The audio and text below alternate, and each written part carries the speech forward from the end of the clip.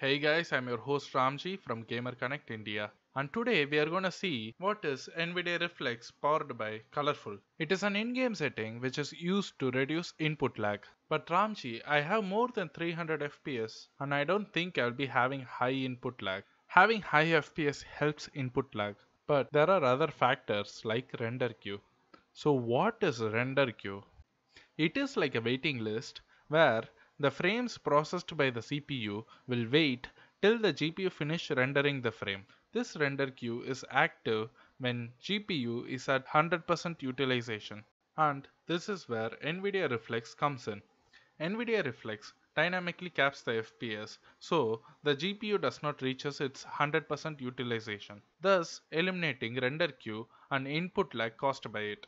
So let's see how much difference we get when NVIDIA Reflex is turned on. Here we have a Valorant custom map opened and one of our staff is navigating the map with NVIDIA Reflex turned off and on.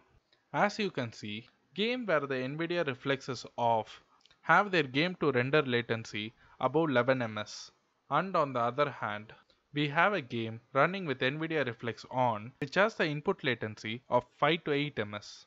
This shows us the NVIDIA Reflex reduces input lag even though you have high FPS and it is a must to turn it on to have a crisp and responsive gameplay. I hope you guys learned something today and I will come with another topic next time.